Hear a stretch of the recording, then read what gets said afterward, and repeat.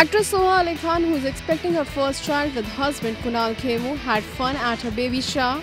She even called her sister-in-law and actress Kareena Kapoor Khan and actress Karisma Kapoor queens of the fashion police. Soha posted a photographs in which she can be seen posing with Kareena and Karisma. Soha is wearing a pink dress while Kareena and Karisma were twinning with military colored starry jacket, white top and jeans. Caught between the queens of the fashion police, Soha captioned the image. Soha also posted her favorite moment of the day with Taimur Ali Khan Pataudi. In the picture, Taimur staring his aunt Soha. Soha also shared another photograph from the baby shower with Neha Dhupia, Konkana Sen Sharma and others. Well, Taimur and his mom Kareena stole the limelight at the baby shower of Soha Ali Khan.